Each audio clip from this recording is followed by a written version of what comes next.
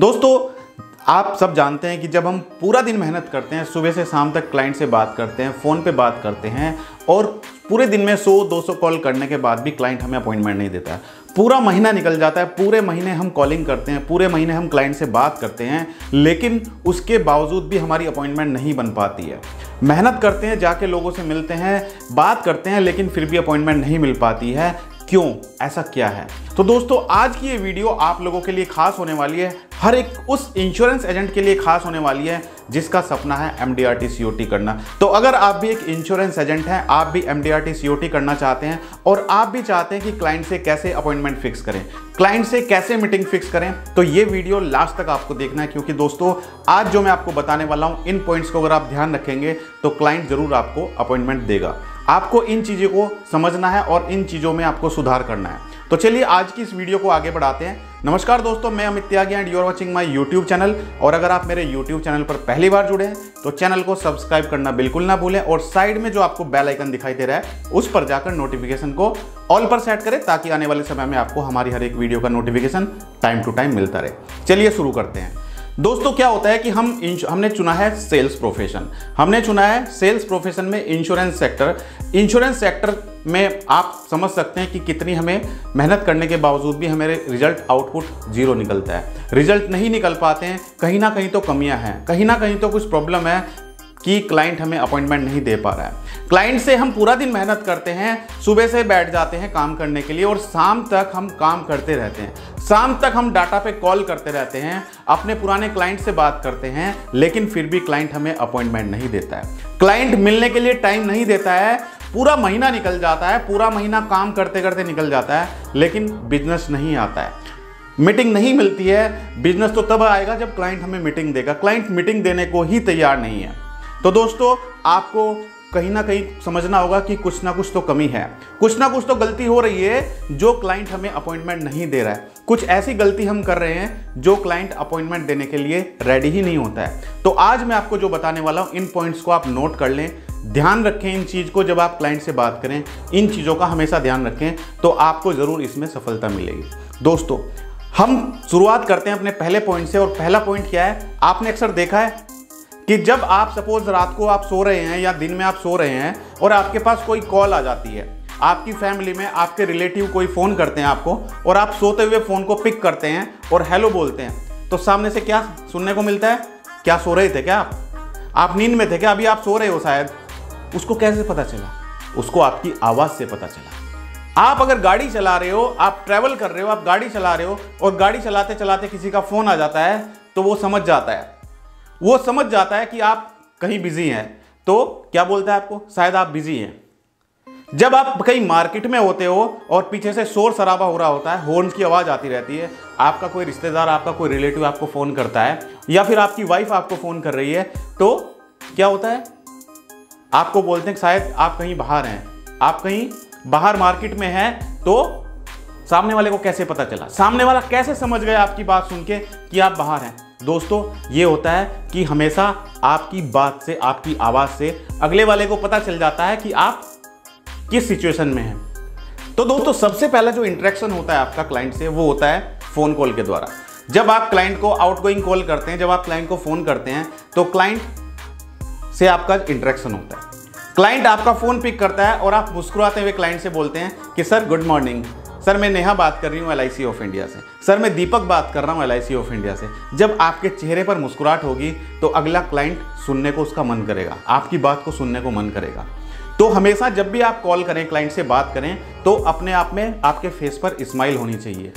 दूसरा जो पॉइंट है दोस्तों, दूसरा पॉइंट है कि हम लोग बहुत ज़्यादा सोचते हैं। ज़रूरत से ज़्यादा सोचते हैं, हमारा दिमाग कुछ ज़्यादा ही काम करता है। जब आप क्लाइंट से बात करते हैं, उससे पहले ही हम सोचते रहते हैं, यार, हम क्लाइंट को फ़ोन तो कर रहे हैं, पता नहीं क्लाइंट क्या बोलेगा। हम 50 कॉल कर चुके हैं आउटपुट नहीं निकल रहा है, हम सोचते हैं कि हम अब क्लाइंट को फ़ोन करेंगे। पता नहीं क्लाइंट रास्ते में होगा क्लाइंट ट्रैवल कर रहा है क्लाइंट मीटिंग में है क्लाइंट डॉक्टर के पास है, हम कुछ ज़्यादा ही सोचते हैं। ज़्यादा मत सोचो भाई। आप कॉल करो क्लाइंट को। आप बेझिझक कॉल करो क्लाइंट को, इतना मत सोचो, इतना दिमाग को मत दौड़ाओ। दिमाग को बस इस तरफ़ दौड़ाओ कि हमें अपॉइंटमेंट निकालनी है। किसी तरीके से हमारा फोकस सिर्फ़ अपॉइंटमेंट निकालने में है, ना कि ये सोचने में कि क्लाइंट क्या बोलेगा। तो इतना नहीं सोचना है, आपको दिमाग को इतना नहीं दौड़ाना है कि क्लाइंट क्या बोलेगा। अब दोस्तों हम बात करते हैं पॉइंट नंबर थ्री, और पॉइंट नंबर थ्री है कि जब भी हम क्लाइंट से बात करें तो हमेशा क्लाइंट से परमिशन ज़रूर लें। ऐसा नहीं कि क्लाइंट ने फ़ोन उठाया और शुरू हो गए बताना स्टार्ट कर दिया, गाड़ी स्टार्ट हो गई, ऐसा नहीं। आप क्लाइंट से पहले परमिशन लें कि, सर, क्या ये सही समय आपसे बात करने के लिए? कि, सर, क्या मैं आपसे इस समय पे बात कर सकता हूँ? वो बोलेगा, अगर बिज़ी है तो वो बोलेगा, मैं बिज़ी हूँ, आप बाद में बात करिएगा. तो आप पूछ सकते हो कि, सर, बाद में मैं शाम को छह बजे कॉल कर सकता हूँ आपको या सात बजे कॉल कर सकता हूँ? तो आप क्लाइंट से पहले परमिशन लें कि क्या ये सही समय है क्लाइंट से बात करने के लिए। ना कि बस शुरू हो गए फ़ोन पे और क्लाइंट से बात करना स्टार्ट कर दिया। ऐसा नहीं, जब तक क्लाइंट आपको परमिशन ना दे। आपको शुरुआत करनी है क्लाइंट से परमिशन से। आपको क्लाइंट की परमिशन लेनी है। क्लाइंट से पूछना है कि, सर, आप बिज़ी हो? तो मैं किस समय बात कर सकता हूँ? या फिर सर आप अगर अभी फ्री हैं तो आप दो मिनट के लिए मुझसे बात कर सकते हैं क्या?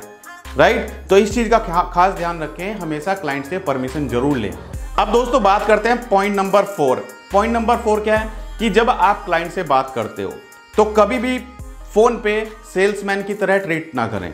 क्लाइंट को ये नहीं लगना चाहिए कि आप अपना प्रोडक्ट बेचने के लिए कॉल कर रहे हो। क्लाइंट को ऐसा फील नहीं होना चाहिए कि आप सिर्फ़ पॉलिसी बेचने के लिए फ़ोन कर रहे हो। हमेशा कभी भी क्लाइंट से सेल्समैन की तरह ट्रीट ना करें, उससे एक कंसल्टेंट की तरह ट्रीट करें। उससे उसको उसके फ़ायदे से मतलब है, ना कि उसको पॉलिसी के फ़ायदे से मतलब है। उसको पॉलिसी के बेनिफिट से मतलब नहीं है। उसको अपने बेनिफिट से मतलब है कि उसका क्या बेनिफिट होने वाला है। तो हमेशा पॉलिसी के बेनिफिट ना बता के प्रोडक्ट के बेनिफिट ना बता के इस चीज़ पे फोकस रखें कि इस प्रोडक्ट को अगर क्लाइंट लेता है तो उसको क्या बेनिफिट होगा। इस पॉलिसी को लेने से क्लाइंट को क्या बेनिफिट होगा? ये पॉलिसी उसके बच्चे के फ्यूचर के लिए है। उसके बच्चे का फ्यूचर के लिए ये पॉलिसी कैसे बेनिफिशियल होगी? उसकी फैमिली के लिए ये इंश्योरेंस पॉलिसी क्यों ज़रूरी है? तो उसको जब तक इस चीज़ का एहसास नहीं होगा कि इस प्रोडक्ट को लेने से उसका क्या फ़ायदा होगा तो वो आपको कभी भी एंटरटेन नहीं करेगा। वो आपको कभी भी अपॉइंटमेंट नहीं देगा। तो हमेशा प्रोडक्ट के बेनिफिट ना बता के पॉलिसी के बेनिफिट ना बता के आप को क्या बताना है? क्लाइंट के बेनिफिट बताने कि क्लाइंट को इस प्रोडक्ट के क्या बेनिफिट हो सकते हैं। दोस्तों, अगला जो पॉइंट है ना, वो पॉइंट है आप लोग जो अक्सर करते हैं। अक्सर हम लोग क्या करते हैं कि जब क्लाइंट से बात करते हैं तो क्लाइंट को हम चाहते हैं कि क्लाइंट हमसे फ़ोन पे ही पॉलिसी खरीद ले। क्लाइंट हमसे फ़ोन पे ही पूरा प्लान समझ ले, बस हमें अपने डॉक्यूमेंट्स मेल कर दे व्हाट्सअप कर दे, हमें उसके पास जाना ही ना पड़े। अक्सर ऐसा होता है। अक्सर आप लोग ये गलती करते हो तो आपको कभी भी क्लाइंट से ये नहीं एक्सपेक्ट करनी है कि क्लाइंट फ़ोन पे ही आपका प्रोडक्ट खरीद ले। कभी भी अपने प्रोडक्ट को फ़ोन पे एक्सप्लेन करने की कोशिश ना करें। कभी भी अपनी पॉलिसी को फ़ोन पे बताने की कोशिश ना करें, क्योंकि पॉलिसी खरीदने में प्रोडक्ट खरीदने में किसी का इंटरेस्ट नहीं है। जब आपका सेल्स एग्जीक्यूटिव जब आप खुद क्लाइंट के पास जाएँगे, उसको समझाएँगे कि ये प्रोडक्ट खरीदने का उसको क्या बेनिफिट होगा, तब तक वो प्रोडक्ट नहीं खरीदेगा। तो आपको ध्यान रखना है कि कभी भी फ़ोन पे प्रोडक्ट बेचने की कोशिश ना करें। हमेशा कोशिश करें कि क्लाइंट से आपका जो सेल्समैन है वो जाके मिले। अगर आप खुद कॉल कर रहे हो, आप खुद ही सेल्स में हैंडल करते हो सेल्स को हैंडल करते हो तो आप क्लाइंट के पास जाएँ क्लाइंट को समझाएँ कि ये प्रोडक्ट लेने का उसको क्या बेनिफिट होने वाला है? ये प्रोडक्ट उसकी फैमिली के लिए ज़रूरी क्यों है? तो हमेशा कोशिश ये ना करें कि क्लाइंट आपका फ़ोन पे ही प्रोडक्ट खरीद ले क्लाइंट को आप फ़ोन पे ही प्रोडक्ट एक्सप्लेन कर दें ऐसा नहीं करना चाहिए। आपको प्रोडक्ट एक्सप्लेन नहीं करना है फ़ोन पे आपको क्लाइंट से अपॉइंटमेंट लेनी है। Right. अगला जो पॉइंट है दोस्तों आपको ये ध्यान रखना है कि जब भी आप क्लाइंट से बात करें तो क्लाइंट को कभी भी ऑप्शन मत दो। राइट? आपको क्लाइंट को ऑप्शन नहीं देना है कि सर मैं आपसे कब मिल सकता हूँ? कब कब मत पूछो उससे। उसको आपको उसके, उसके पास ऑप्शन छोड़ना ही नहीं है आपको। अगर आपने छोड़ दिया वो बताएगा कि मैं बताऊँगा आपको जब मेरे पास टाइम होगा तब बताऊँगा। अभी मैं बिज़ी चल रहा हूँ मैं अभी आपसे नहीं मिल सकता हूँ। तो आपको उसको ऑप्शन नहीं देना है। राइट? आपको उसको दे उसको उससे बोलना है कि सर आप ये बताइए कि क्या मैं आपसे संडे मिल सकता हूँ या सैटरडे मिल सकता हूँ? सर क्या मैं आपसे सैटरडे या संडे मिल सकता हूँ? वो बोलेगा, नहीं सैटरडे संडे मैं बिज़ी हूँ, आप मंडे मुझसे मिल लीजिए। या फिर आप उसको बोल सकते हो कि, सर सैटरडे या संडे में मैं आपसे इवनिंग में मिलूं या फिर मैं आपसे आफ्टरनून में मिल सकता हूँ? राइट अगर, दोस्तों, अगर आपने क्लाइंट के ऊपर छोड़ दिया कि, सर, कब मिलोगे? तो कब क्लाइंट कभी नहीं मिलेगा। वो आपको कभी फ़ोन नहीं करेगा। तो आपको क्लाइंट से खुद बोलना है अपनी तरफ़ से क्लाइंट से पूछना है आपको कि, सर, आप मुझे ये बताइए कि क्या मैं आपसे सैटरडे मिल सकता हूँ या मैं आपसे संडे मिल सकता हूँ? अगर, सर आप मुझे ये बताइए सैटरडे संडे में कौन सा टाइम आपके लिए बेस्ट होगा? मैं दोपहर में आपसे मिलूँ या शाम को आपसे मिलूँ? तो आपको इस तरीके से बात करनी है, ना कि ये कि, सर, आप मुझे बता दीजिए कि, सर, आपसे कम मिल सकता हूँ पॉलिसी के लिए। इस तरीके से आप बोलेंगे तो आपको कभी भी अपॉइंटमेंट नहीं मिलेगी, आपको कभी भी टाइम नहीं मिलेगा। तो हमेशा क्लाइंट को बताएँ कि, सर, आप कोई डेट दें उसको, कोई तारीख दें, कोई दिन दें। आपने उसको दिया कि, सर, आप मुझे ये बताइए कि मैं आपसे क्या तेरह तारीख को मिल सकता हूँ? क्या मैं आपसे चौदह तारीख को मिल सकता हूँ? वो बोलेगा, नहीं, चौदह तारीख को तो मुझे बाहर जाना है, मैं चौदह को नहीं मिल सकता हूँ, मैं आपसे सत्रह तारीख को मिल सकता हूँ। है ना? तो आपने क्लाइंट को एक फिक्स टाइम दिया। आपने क्लाइंट को एक फिक्स डेट बताई कि, सर, इस तारीख में मिल सकते हैं क्या? अगर आप बोलोगे कि कब मिलोगे तो कब कभी भी नहीं आएगा। क्लाइंट आपसे मिलेगा ही नहीं फिर। राइट तो इस तरीके से आप क्लाइंट से बात करें। दोस्तों अगला जो पॉइंट है क्लाइंट को कभी भी एहसास ये नहीं होना चाहिए कि आप क्लाइंट्स का टाइम वेस्ट करने के लिए जा रहे हो।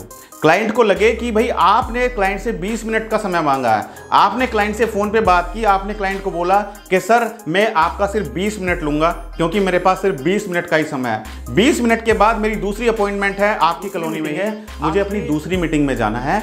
बस मैं आपको सिर्फ़ 20 मिनट दे सकता हूँ। तो सर, आप मुझे सिर्फ़ 20 मिनट का समय दे दीजिए ताकि उस 20 मिनट में मैं आपको बता पाऊँ कि आपको इंश्योरेंस क्यों लेना चाहिए? इंश्योरेंस की ज़रूरत आपको क्यों है?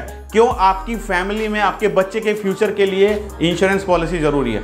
सर मैं आपको ये बिल्कुल नहीं बोल रहा हूँ, मैं कोई आपको प्रोडक्ट सेल करने के लिए नहीं आ रहा हूँ। मैं आपको ये समझाने के लिए नहीं आ रहा हूँ कि आप ये प्रोडक्ट लीजिए।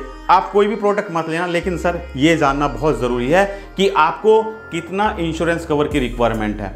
राइट? जब तक आपको ये समझ नहीं आएगा कि कितना इंश्योरेंस कवर रिक्वायर्ड है, सर तो आपके बच्चे का फ्यूचर कैसे सिक्योर हो पाएगा? सर, समय बहुत ख़राब चल रहा है। समय का कुछ पता नहीं है। तो आप मुझे सिर्फ़ 20 मिनट का समय दीजिए, मैं आप से 21 मिनट भी नहीं लूँगा, मैं सिर्फ़ आपसे 20 मिनट लूँगा।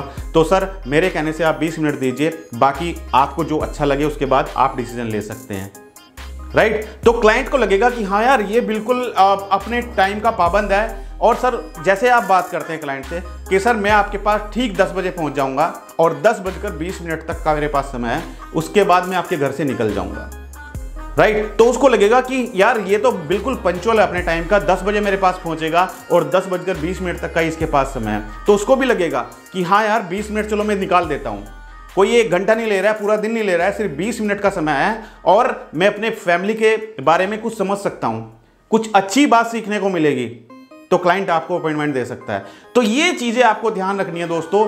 ये सब चीज़ें आपकी, आपके एक जो कन्वे मैसेज करता है क्लाइंट के ऊपर। क्लाइंट के ऊपर क्या इफ़ेक्ट छोड़ता है? क्लाइंट से अपॉइंटमेंट कैसे लेनी है? ये सब चीज़ें अगर आप फॉलो करेंगे तो क्लाइंट आपको अपॉइंटमेंट दे सकता है।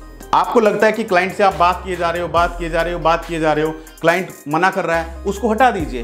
वो आप अपना टाइम वेस्ट कर रहे हो उसके लिए। उससे बात करके आप अपना टाइम वेस्ट कर रहे हो टाइम आपको वेस्ट नहीं करना है। आपको अपना टाइम बिल्कुल वेस्ट नहीं करना है, आपको अपना समय लगाना है अपनी क्लोजिंग पर, अपने कॉलिंग पर, अपने क्लाइंट पर। जो आपको लगे कि हाँ ये क्लाइंट हमें अच्छा लग रहा है, बात करके पता चल जाता है, उस क्लाइंट को आप फॉलोअप में रखें। जो क्लाइंट आपको डिले करता जा रहा है डिले करता जा रहा है, उसको हटा दें आप लिस्ट से। राइट? right? तो दोस्तों, इस तरीके से आप इन चीज़ों का ध्यान करके क्लाइंट से अपॉइंटमेंट फिक्स कर सकते हो। दोस्तों, अगर आपको हमारा वीडियो अच्छा लगा तो वीडियो को लाइक करें और सब्सक्राइब करें हमारे इस यूट्यूब चैनल को, ताकि आने वाले समय में आपको हमारी हर एक वीडियो का नोटिफिकेशन टाइम टू टाइम मिलता रहे और साइड में नोटिफिकेशन बेल को भी ऑल पर सेट करें। और संडे रात नौ बजे मैं अपना लाइव प्रोग्राम लेकर आता हूँ। अगर आप मुझसे सवाल करना चाहते हैं तो आप मेरे लाइव प्रोग्राम को देख सकते हैं और अपने सवाल इंश्योरेंस के बारे में मुझसे पूछ सकते हैं। तो आज की वीडियो को यहीं पर विराम देते हैं। थैंक यू सो मच बहुत बहुत धन्यवाद आपका।